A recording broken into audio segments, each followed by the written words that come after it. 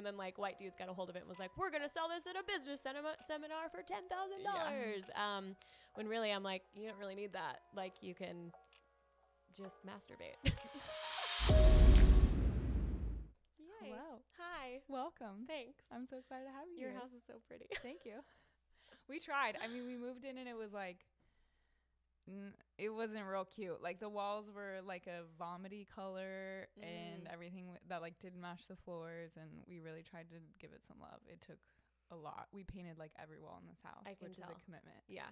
I actually in the apartment that I moved just moved into in Nashville, um, their color scheme and the whole apartment building is questionable. And for whatever reason, all the walls were painted this like hint of purplish, Yeah. and all the ceilings were painted with a hint of green. Oh So. I, It's the like moment I knew I was going to move in there, I was like, like, who can I hire to Barney's paint the whole thing white? Because I'm not doing this. I'm like, just be white. Like, Yeah. why don't, why do, I feel like places are like, let's do this really cool, like Yeah. bold color. And it's like, Mm-mm. just be white. It's Just fine. Neutral's the way to go. Like, yeah. it's crazy. Yeah. But, well, do you want to start by telling us, like, who you are? I like to have people do Mhm. this in a way. I think it's kind of fun to talk, like, as if it's, you're telling the fairy tale, like, movie version story of, like, Mm. the the main highlight moments of your life and how you ended up who you are. So you want to give us that the movie version The- of Jamie Lee this- Finch, the trailer. journey? How you, yeah, how you would the highlight trailer. Mhm. yes. Um, well, I am. Oh, it's hard to like think about a different way of describing myself because I like that I like that framing, but I'm so used to being like I'm a sexuality and embodiment coach and I do all these things, which is Yeah. like not untrue.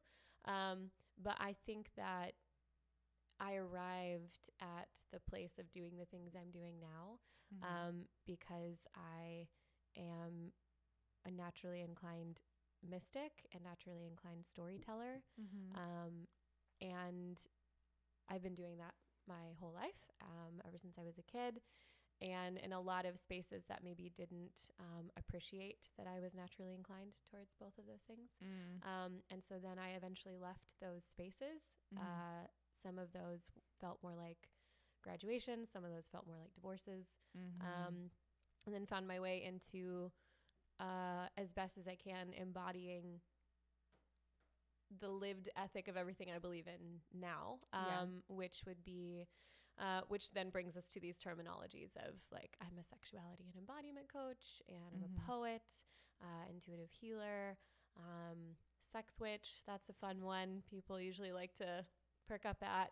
Um, yeah, I, I, I'm a person, like I'm Yeah. a human, um, and I am a human who recognizes that uh, the body that I live in is not an object but a person. And to be Mhm. honest, that might be the most defining characteristic of the way that I see the world, and then see myself in the world and live and move through that Mhm. world. So Mm.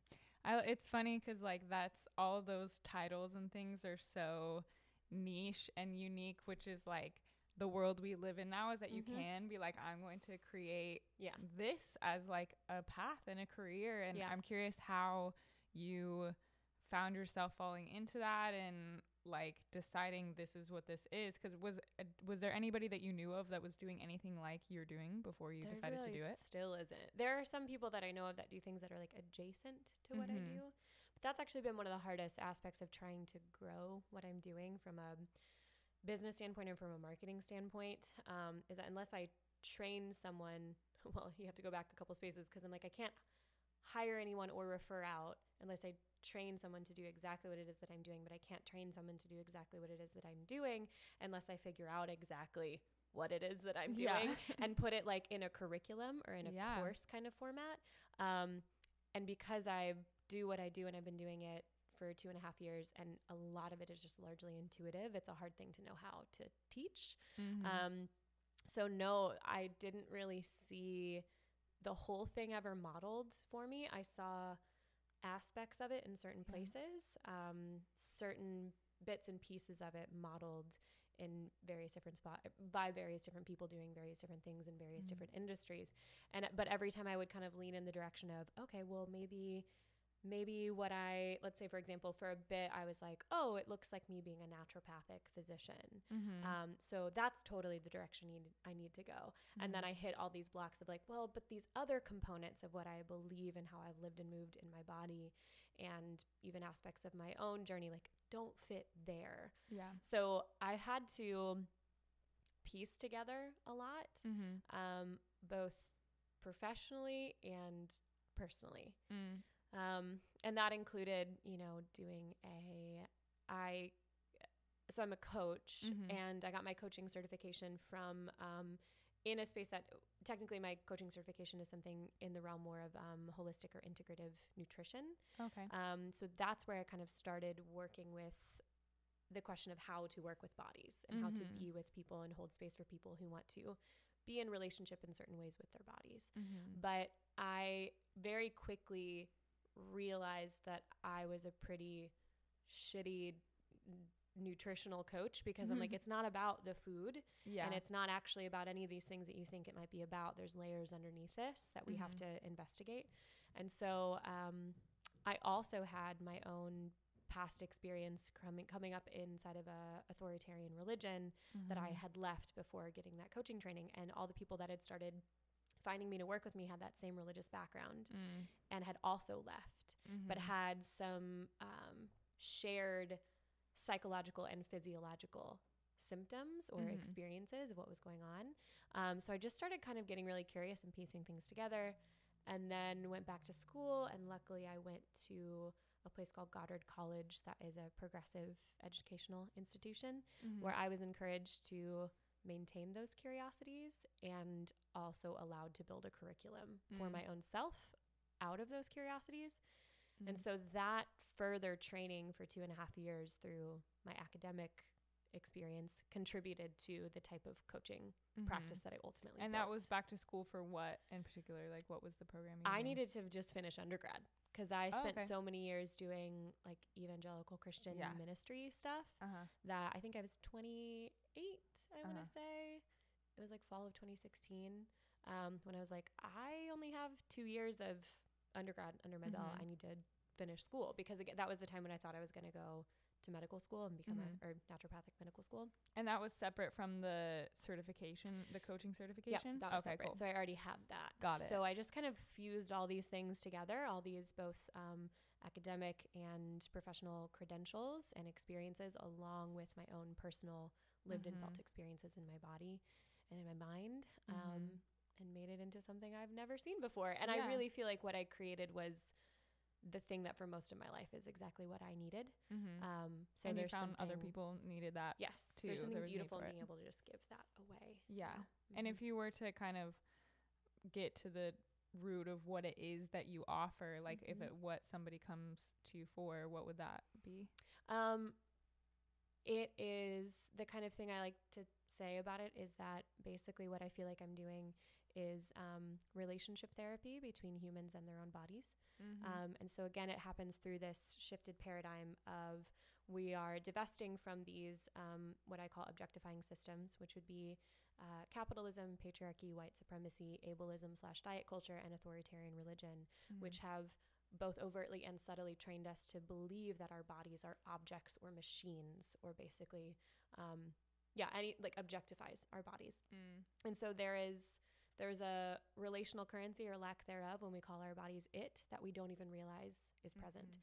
and so when we shift our paradigm from calling our bodies it to calling our bodies he she they Mhm. then it becomes this, uh, like I said, almost like this relationship therapy paradigm where you hit these walls and these breakdowns in communication that previously we may have defaulted to uh, interacting with our bodies through the lens of shame and hostility, like we were taught by these objectifying cultures or objectifying systems.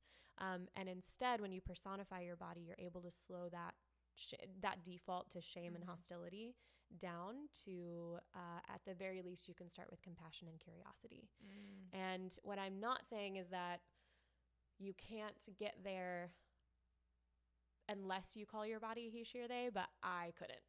I Mhm. couldn't do it. And I Yeah. haven't found it feels like almost like a sneaky like backdoor entryway into Mhm. these things that had never really clicked for me before in my relationship with my body. Um, and I've worked with about 150 people in the last two and a half years, and I see it for all of those people, I see it change Yeah. some major things in the way that they relate to their bodies. Well, you're shifting your perception and like widening it into even like I feel like that that widens it from it being s- like shrinking it into something really specific where our Mhm. bodies have so many different systems happening and it's like this Mhm. almost like collective thing that is all working together so you're cre- you're making space for that which I could see being Mhm. super yes. powerful. And it's allowing you to interpret symptoms, whether they're psychological symptoms, somatic symptoms. Um, you start to more easily experience symptom as information Mhm. rather than symptom as my body trying to, like I had a client phrase it at one point that her experience of her body was that she had all these ideas of how she wanted to live and move through the world and things she wanted to accomplish but because of you know chronic illness for example her Mm. relationship to her physical body was my body's trying to ruin my life Mm. and in, and that again if we can slow down just long enough from immediately arriving at the conclusion of my body's being hostile to me and Mhm. instead because in a relate think about it this way in a relationship that's never helpful Mhm. like in your relationship with your partner if you just if you never give the most generous assumption the intimacy and connection starts to break down but Mm. if you can at least work towards slowing down and offering offering to your partner to give them the most generous Yeah. assumption you don't even have to shift all the way from my body hates me to my body loves me. You can at least go to i wonder just wonder. I wonder what my body might be trying to tell me. I Mm. wonder if my body might actually have some information for me about something else that's going on that i might not know about. But Mm. so many of us have been trained by all these objectifying systems to just immediate like for example capitalism really wants us to be productive so if i get sick i'm mad at my body because i don't get to keep up with capitalism's measure of my value yeah. that's not my body's fault that's capitalism's fault but Mhm. i've been blaming my body for not showing up in the world in the way that i've been trained into thinking she should That should, yeah. It's the expectation that sets it that way. Yeah. And that translates into a lot of life, I feel, because I hear the same language in, like you said, people talk about other people in that way, or even just the Mhm. universe and life as a whole of Mhm. like, it's against me and, and really, when really everything is giving us information, our body Yeah. and everything's kind of communicating to us. Like, look at something, look at this. Like, why is this happening? Yeah. What, why are you perceiving it that way? Mhm. Like, why are you projecting that? mm-hmm. there. So that it makes sense because that's I've seen that in other areas of my life. So yeah yes that's crazy. That's super Mhm. helpful. Is there anything that you found like through working with your clients that is sort of the most common experience or moment that has kind of led them to need like needing this type of work that you've noticed like oh this is what keeps happening to people Mm. that's causing this i mean you mentioned systems but is Mhm. there any like specific experience that you've noticed being common Um, I think because there's there is a lot of permission right now in this cultural moment to talk about the harm of fundamentalist and authoritarian religion, and also because that's my background, I recognize I'm pulling from a very specific sample of people, but still, I mean, my honest answer to your question is that a lot of people that find me to work with me are people who are recognizing that the religion they were raised with has harmfully impacted not just their brains but also their bodies because of Mm. many reasons, but particularly their increased awareness of um, the mind body connection and also the cultural competency that has. Um, like our collective cultural increased competency in understanding that trauma isn't something that happens in your brain, it's something that happens in your body. So a lot of people are able to put these pieces together of wait a minute, maybe the religion that I was raised with was traumatic and Mhm. I experienced it in a traumatizing way. Mm. Um, and so that means something for my body, like my body is telling me the truth about that trauma. Mm. Um, so that one I think, and that's, I mean, I started out working with people in a way where I thought that was the only culprit Yeah. and then working with more people over this period of time um, like i'm really glad i didn't write a book about this yet or create my course yet because i maybe a year ago i probably would have just been like it's all evangelicalism's fault it's not there's these even more subtle systems that are working with evangelicalism so Mhm. but i think because they're so subtle i don't often have people who you know hop on our consultation call and is like i recognize the ways that capitalism has Mhm. impacted my body yeah. and diet culture is causing me to dissociate and to harm Mm. myself. It's usually, at least from the people coming to talk to me, because they've heard me talk about my background. yeah. They'll be like, look, I left the church five years ago and I'm just now realizing that I'm not fully, I'm still dissociating. I'm not present in my body. Or because of being a sexuality and embodiment coach, a lot of people come to me um, with some sort of very present story of uh, what they would maybe call sexual dysfunction or some Mhm. way in which they're experiencing their body. Uh, I, I always have to be really careful with this language, but like they're experiencing their body not working the right way Mm. in either a partnered sexual experience or masturbation or self pleasure. yeah. Um, and even that's its own thing because we have to like decenter the idea that there's like a right way to have sex Mhm. on its own and try and remove that shame. But that Yeah. would be the biggest one is people realizing, or the two biggest people either realizing there's something maybe imbalanced um, in their relationship to their sexuality that they want to get curious about or, you know, heal. Um, or fix might be the framing that they would use, but we don't keep that framing Mhm. um, or just that recognition of I now know that the religion I was raised with impacted me in some harmful ways. Yeah.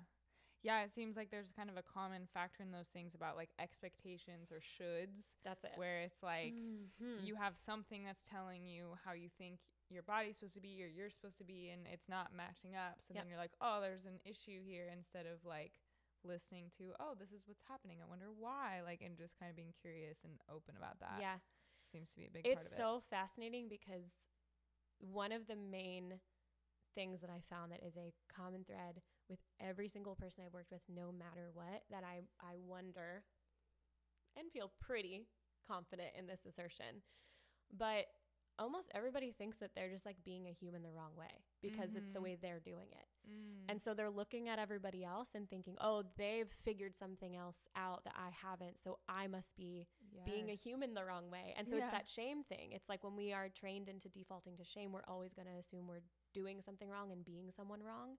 And so this work of wait, my body's a person, they have information for me, I can talk to them, um, shifts it again into this relational model of uh, making it so that we don't have to default to the shame we were trained to default in, and we can at Mm. least again shift to compassion and curiosity and this permission and this agency that people discover Mhm. of this recognition that like I don't think there's a right way to be a human person Yeah. beyond like don't harm yeah, others. beyond that there's really no correct Yeah. way to be a person Mhm. and I think that that the shame again that's linked to these the body objectifi- uh, body objectification we've been indoctrinated into it's that shame that's keeping us from from giving ourselves that permission and agency to be like I can just relax and rest in being exactly who I am. Yeah. Wow, that yeah, that's like life changing because I've I've had a lot of realizations recently too about just how like we're always kind of striving to have a certain level of whatever idea of perfect we have of like once I have this going in check and once I'm doing this and like Mhm. trying to match up to that view that we think ev- somehow uh, we think everybody else has that figured out Yeah. and we're like projecting that outside Yep. of ourselves and once I get there then I can finally you know whatever that is for that person and Mhm. I've learned more and more in my life that everyone around us like that's we're totally just projecting that idea of having it figured out or like Yep. How like what it looks like to be healthy or what I, and like we've been given this idea that doesn't exist like Yeah. no one is living that like No no, one. one. is doing No that one. so if we Yep. can just be honest with like okay this is what my body's this is what it wants like even sexually speaking like I'm I don't want this in the way I think I should. Like, Mhm. can I just have acceptance through that first Yeah. and say, okay, like Yep. this is okay. This is what I'm feeling. many people aren't having the sex they want to be having because they are trying to have the sex that they think they should be having. Yeah. And it's—I mean, and it, it's in my brain too. And it's so frustrating. And it's, again, having this really specific vantage point of like people feeling safe enough to come to me and talk to me about in like intimate details of their sex lives with themselves or with other people has allowed me to see that thing I just said really clearly and then also see it in myself really clearly Mm. and try as best I can to be compassionate and loving and communicative with the information my body has for me and try, stop trying to hold myself to a certain standard and just get curious about what actually brings me pleasure. Yeah. Like it's just it's such a it should be simple and Yeah. it sounds simple when I say it but it's like the most complicated thing in the world. yeah, but we're not really taught how to do that either. It's kind of like Mm-mm. you just need to be just know how to do this. Like you Mhm. should just automatically be like Ugh. an expert. And then in like religious culture, you have that mixed with the fact that it's like you should not think about this at all Mhm. and then be like an Yeah. expert all of a sudden and then a, a switch flips and Yeah. the divine will make you good at this thing that you were previously not allowed to even be curious about yeah and it so sets a lot of people up for some pain That, and like, disappointment like I can't think about this. I this is bad. I don't want this. I don't want this. I Mhm. can't think about this. Uh-huh. Don't do it. And then all of a sudden you're supposed to be like, now I want it all Yeah. the time, and it's amazing. yeah just because your brain changes its mind about what you Yeah. can and cannot do doesn't mean your body is going to forget everything you've been taught for all of Mhm. your formative years about what would make you safe and Yes. unsafe particularly when the stakes are so high like if you don't follow the rules you can go to hell like Mhm. that like my body loves me enough to not let go of that story immediately because Yeah. i've been required to believe that there's a certain way to live in the midst of that story that will make me safe and my Mhm. body's whole job is to make me safe Yeah. so that's why, again, this us learning about the somatic experience of trauma mm-hmm. and how what's unresolved, and when when we've had a traumatic experience or something that's created a traumatic unresolved impact on us, it's not just something that happens up here; it's something Mm. that happens in our bodies, Mhm. and that's why the language around religious trauma is really important. So people have the permission to recognize, oh, this qualifies as trauma yeah. because it has everything to do with my my safety yeah. and, and my felt sense of whether or not I'm safe in the world. and your entire paradigm of how to see and exist in the world like because i when i read your book i didn't like i didn't fully realize until i read that how how much th- what i had experienced was like super traumatic for me Mhm. because there's kind of this thing even that like years after leaving that type of space and you know moving on with my life and thinking yeah i don't i'm not with that stuff anymore it's like whatever i'm cool there was something where i still was like yeah like all love and it's great and nothing Mhm. wrong with that but then as i was reading your book i was like oh my gosh like i just wasn't even aware of the level of what i had gone through even like when you were talking about as a little kid being like singing these songs and being told Mhm. these stories Mhm. of, that are just so terrifying like Yeah. why would you say those kinds of things to a kid Yeah. about like burning in hell and like needing ev- like Mhm. i it really was eye opening to me to just become aware of the own like have more acceptance and awareness around the level of trauma that I had faced that I wanted to Mm. just like brush under the rug and be like, no, Yeah. I'm just over it now, Yes. and it's not a big I changed deal. my mind. I don't believe it anymore. yeah, I don't cognitively ascribe to that ideology any longer. So I'm sure everything's fine now. And yeah. again, we're not really saying that to ourselves consciously, but that's what we're expecting. That's the pressure we're putting on our bodies Mhm. is just forget all those things. We're like asking the, the person of our body to forget everything that we were taught yeah, about what makes us, again, really high stakes, safe or unsafe. mm-hmm. She loves me too much for that. She's going to have some information for me about why that does not feel safe for her to do. yeah, for sure. Mm-hmm. Wow, that's such a helpful per- perspective. Well, to plug your book while we're Mhm. talking about your book, Sure. what's Yes. tell, you want to tell Oh, us about your plug it. book and Okay, where we can find it? Um, I have se- it's uh, speaking of religious programming. I have said the title of my own book wrong so many times because it's very intentionally named to be kind of the opposite of a verse that a lot of us were taught when we were younger. Um, so the title of my book is "You Are Your Own: Mm-hmm. A Reckoning with the Religious Trauma of Evangelical Christianity." Mm-hmm. Um, and that verse was "You are not your own." Mhm. And the amount of times that I have said the title of my own book, like it's that verse. You've said it. You are Oh, not yeah. your own. yeah. Oh my god. I've said it even I said it one time on a podcast and the host of the podcast caught like, me. "Wait." They were like, "Wait a minute, that's not what it." I was like, "Oh shit, that's right." But I mean, wow. Programming, it's Yeah, intense. it's It's, an intense thing. Yeah. Wow. But yeah, it was very intentionally named to kind of center the fact that that is not true. That Yeah. you do belong to yourself. Yeah. Well, it's a great read for anybody experiencing that, and I really enjoyed it for Thank sure. you. I'm curious what you you talked a second for a second on like the dieting aspect, which I'm really curious Mhm. to talk about that a little bit too, because I know a lot of people. That's like something I've really become Mm. aware of in myself and people Mhm. around me, and I think it's really tricky because there is like you know this desire to want to be healthy and it can look like taking care of my body like Right. doing what i want for my body so what is that like how do we navigate that line Mhm. between having a desire to you know like eat well and take care because you study nutrition too so Mhm. i'm curious what you think Mhm. as far as that like body image and dieting and yeah. how we can navigate that particularly as women but i know men go through it too Yeah.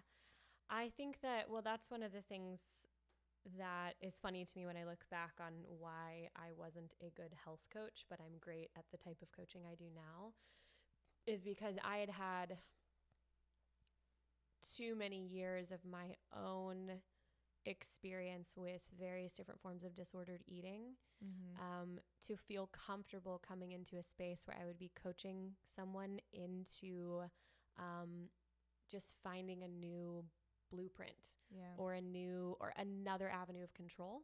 Mhm. And I, what I don't mean is I, I, I wasn't trained in that necessarily in the program I went through, um, but I do think there are still lots of pieces of the prevailing narrative of diet culture and ableism, even in and sometimes especially in more holistic and integrative spaces, um, because there's this like false equivalency between um, how you choose to eat and how you choose to move with like your overall morality as a Mhm. person and even the terminology of like like the fact that we have a terminology like clean eating is really upsetting and problematic and and can be kind of dangerous actually Mm. so i yeah so my own personal experience of having oh just constantly just trying to find a new a new rule and then when that rule didn't work give me another rule and that rule didn't Yeah. work and then my body again um, i had a lot of a lot of health issues which did kind of force me to have to get curious about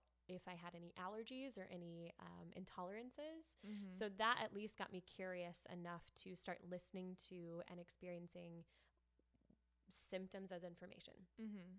or if I eat something and because I'm trying to identify an allergy or intolerance, so if I eat something, then I get to notice Mm. what happens. And it was that noticing rather than just being given some rules like you're supposed to be vegan, you're Yeah. supposed to be paleo. Like give the invitation to notice how my unique body interacted with and reacted to eating certain things allowed me to begin to do what I didn't know at the time was called intuitive eating Mhm. um, and to develop a relationship to eating intuitively for the first time in my life. Mm. Um, and so there's definitely a lot of people who, and even in specific like intuitive eating coaches who, you know, if you Google, you can find them and they know way more about that than I do. Yeah.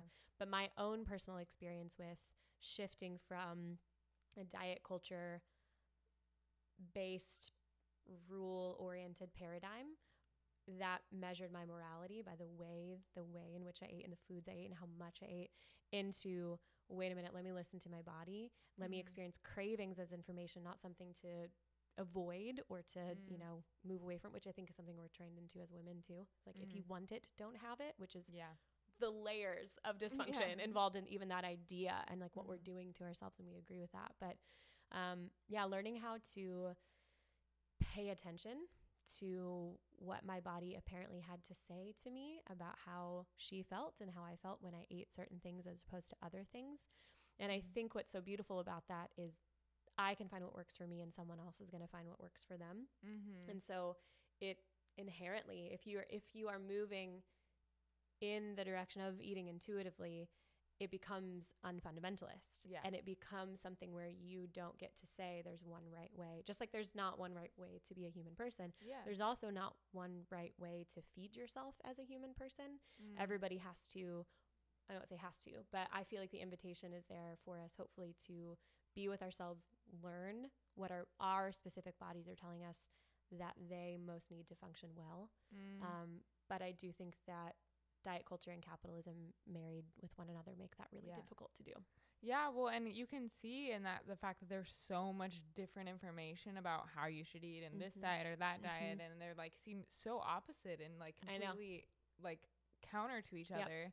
And so that to me just shows like everybody's bodies are different. and What Yeah. works for one person might not work for you. Yep. So to follow like a set of rules and know this is what's like I need to do, and usually those are crafted for a, second, or a specific external result, Right. like having your body Right. look a certain way or burning a certain amount of fat, which doesn't necessarily mean that you're healthy, Right. just because you look like a certain way. Yes. So, And that's it. And that's also like a dangerous assumption, right? Like Mhm. assuming that size or shape of a body has any is any accurate measure of health or wellness Mhm. at all is just blatantly inaccurate. Yeah. And it's it's really it's honestly dangerous because I've I've heard everything in the people, you know, in the experiences of the people I've worked with. And I've heard both ends of the spectrum, which is that my clients who have larger bodies um, who have uh, physical illnesses, chronic illness, whatever it might be, something, an imbalance of some kind. They go to their doctor, and literally all they're told is lose weight. Mm-hmm. They're not taken seriously. Yeah. I've even had clients who are told who were told you don't have this specific health issue that you think you have. You actually just need to lose weight. mm-hmm. That's extremely dangerous. And then I've also heard from clients who have health issues and have chronic illness or some kind of imbalance going on in their body. They want to take care of themselves. They go to the doctor and they present as classically thin. And Yeah. they're literally told by their doctors, you can't be sick, you're thin. You're Mhm. clearly not sick, you don't have this health issue. So I'm like, either end of the spectrum, appar- and that's the whole thing. It's a trap. Like, apparently, there's no right way to be in a body and be Mhm. taken seriously. And again, I don't want to mischaracterize all doctors because that's Yeah. not the case. And I've had some that have been powerful and honestly life saving in some ways. Mhm. But I think it's the it's the doctors that have divorced themselves from that false assumption who have been really helpful, Yeah. and the doctors who unfortunately have not divorced themselves from that false assumption and are maybe still believing the bullshit that is the BMI that they're Mhm. thinking like size and shape of of a human body is the full measure or the most important measure of health and it's not. Yeah. Dang. And that even ties back into the same thing of like expectations, outside pressures, look a certain Mhm. way, be a certain way, act a way. Like Yes. it all, it's funny how things all Yep. tend to like, once you find that thing, it's like everything in my life is like connected to this Yep.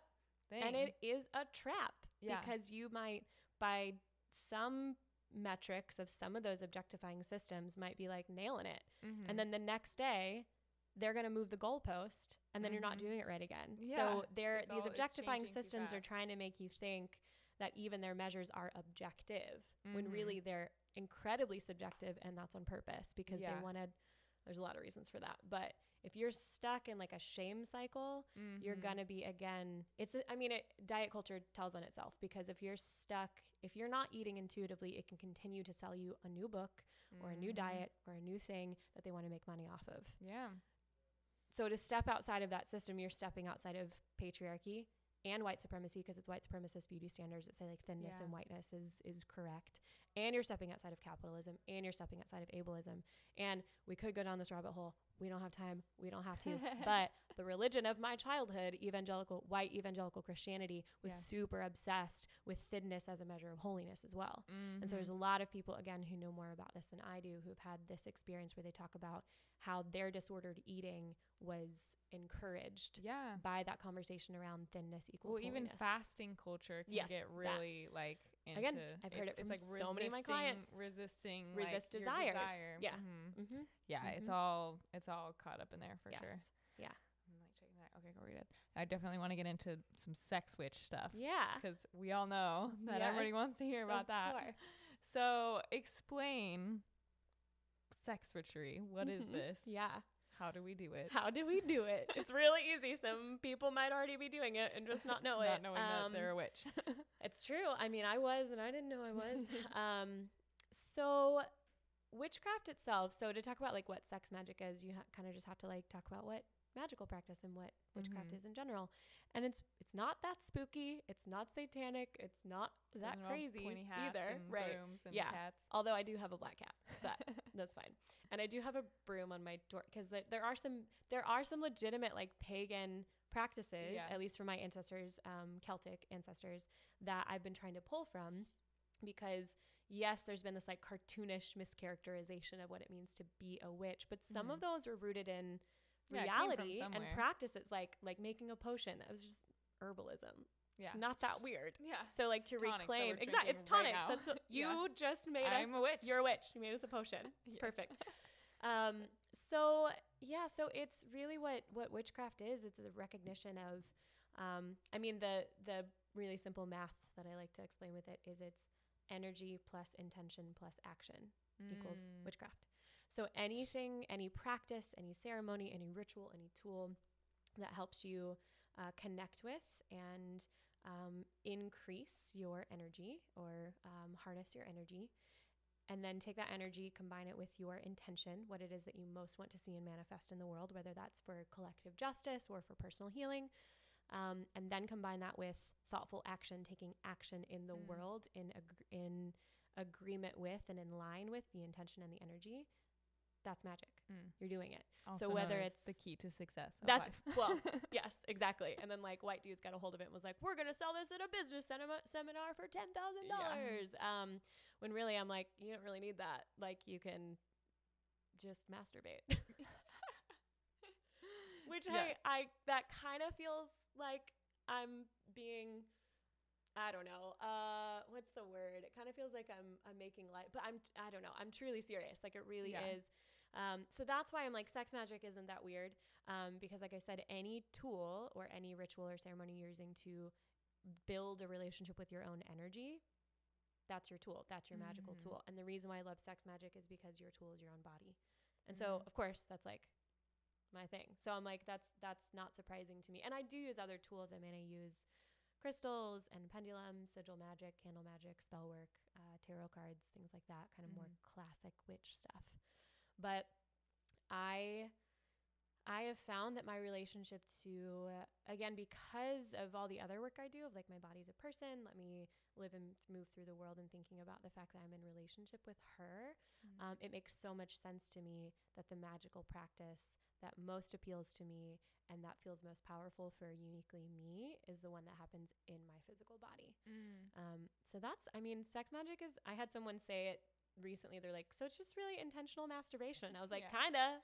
So what Yeah. is it about like the sexual act that like adds to that intention of everything that you said about like wit- what witchcraft is and with the intention and the action Mhm. and manifestation? What is it about sex Mhm. that aids that? Mm-hmm. Well, so sex, uh, so it's really just, and again, this is either partnered sex or self pleasure, um, or you know, group. Who knows? No judgment. Whatever. Um.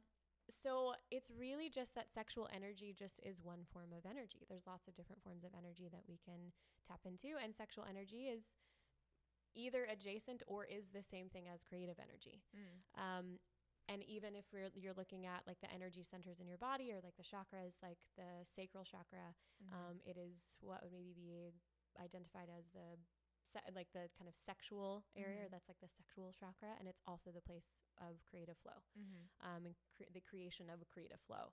Um, so I think that what makes that so spe- again, you can tap into your creative energy in any other way, but for me at least, it feels like this. Um, it's like you don't have to go from. I don't have to use a separate tool to help me tap into my creative energy. It's like I'm just going straight to the source. Yeah. Um, I also think that there's another aspect of it that I really like, which is that it helps me decenter the idea that sex itself is only one thing, which is a Mhm. heteronormative construct where a penis goes in a vagina. Mhm. Um, that's not all sex is. Like Mm. lots of other things are sex, including lots of other activities that you can get up to with a partner that doesn't just uh like it's weird that like we would we have this thing that we do where we're like, oh, we didn't really have sex, and w- when we say that, we think it's just the penis didn't go in. The- it's so Yeah. weird. It's so bizarre. So I think being able to to call many other things sex and say like Mhm. sex magic, people automatically assume that's something I'm practicing with not only a partner, but they assume it's a male partner, which again Yeah. is you know we're telling on ourselves. Um, when actually I've never practiced it with a partner of any gender, and it's been totally autonomous and just in situations of self pleasure so Mm. far. So I'm like, that's still sex. Yeah. It's still sex, yeah. and we deserve to recognize that that's sex. It's good. It seems really powerful too for women um to be able to have like to kind of take back their power around sex by to have like call like I'm doing this and I just need myself and my body to do it and to be able to think about sex in a way that doesn't involve a penis. mm-hmm. Like that Mhm. I feel like is really powerful to work against the narrative that Yeah. you're speaking of that like it kind of is all focused on male pleasure Yeah.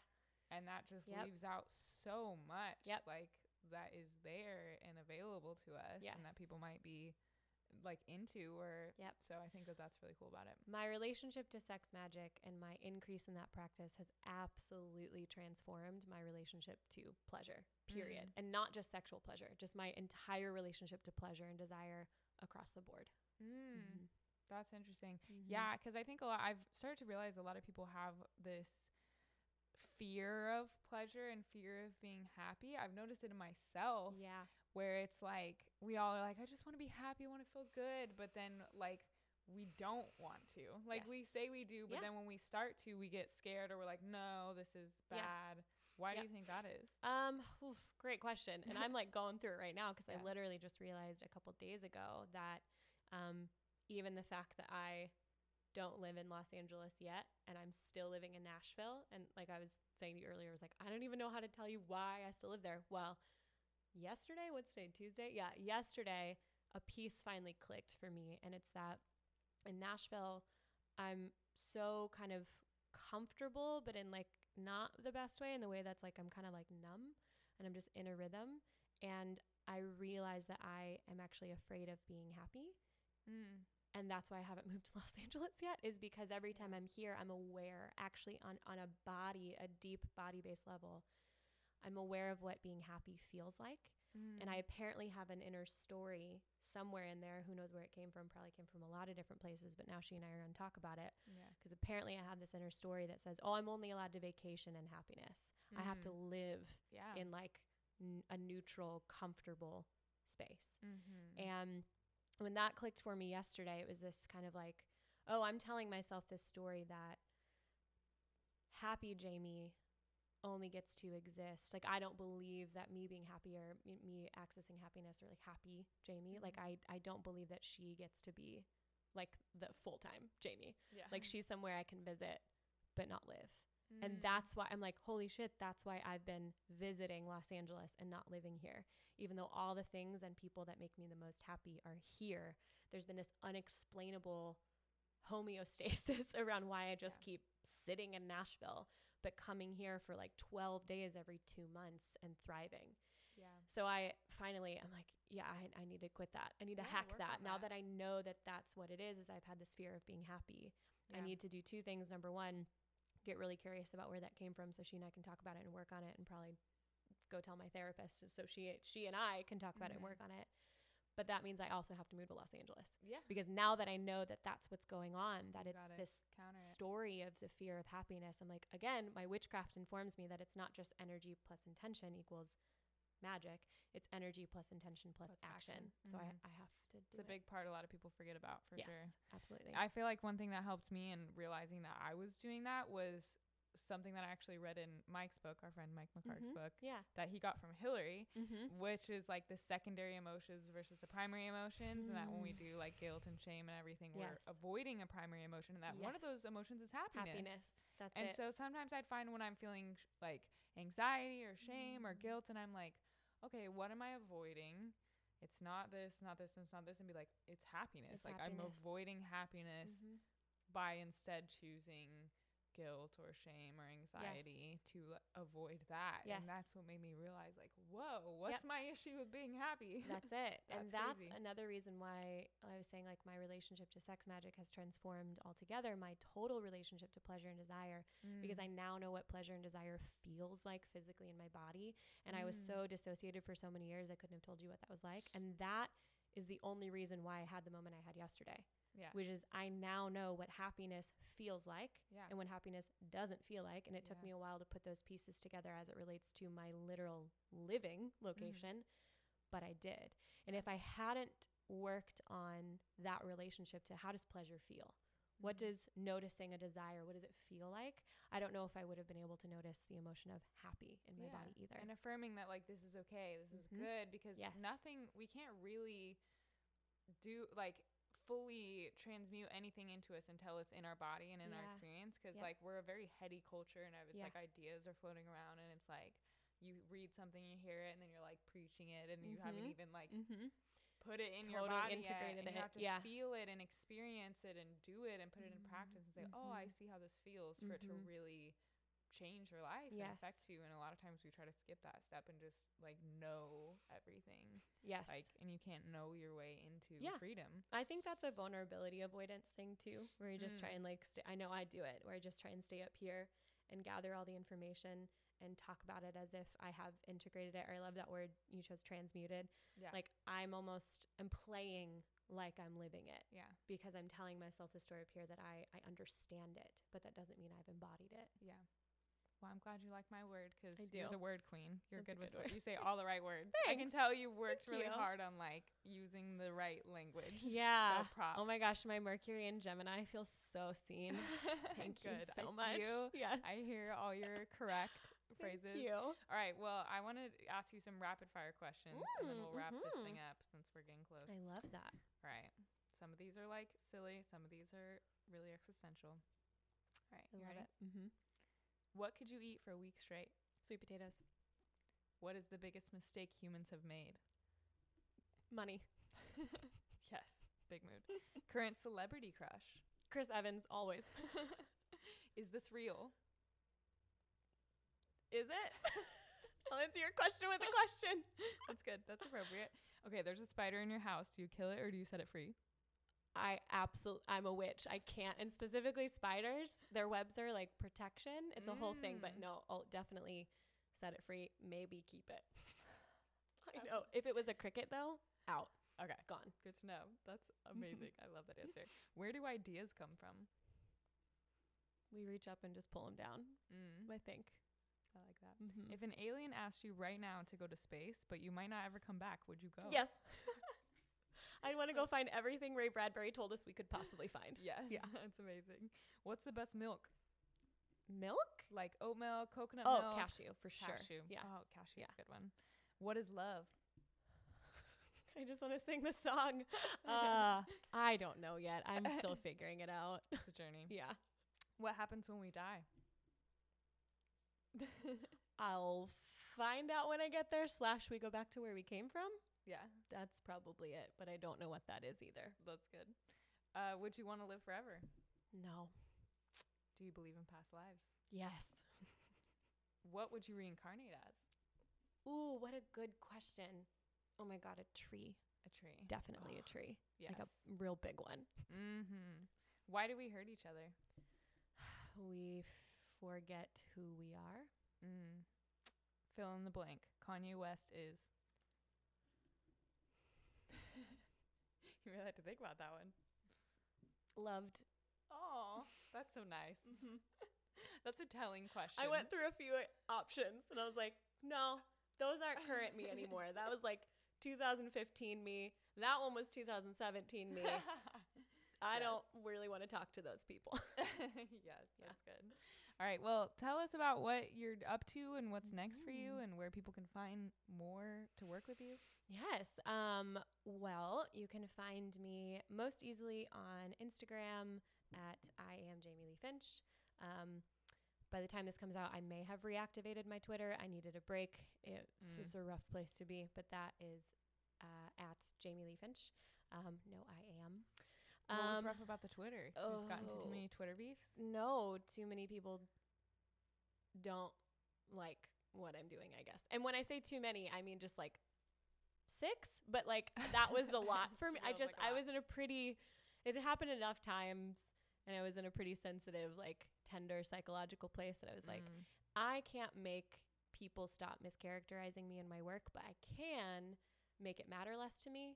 And so I think I need to unplug from the way this whole thing is working and telling me that, you know, what consensus is. Cause it's just, I had, I mean, I have clients and past clients and people who admire my work who are telling me every day this matters to me and has made a positive impact. And then there's like literally six people on Twitter that I've blocked and keep creating new accounts to.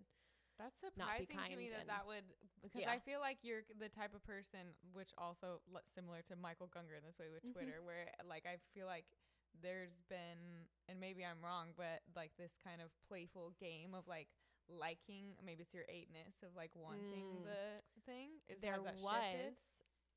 Twitter worked for me when I needed an enemy. oh I don't need an enemy anymore.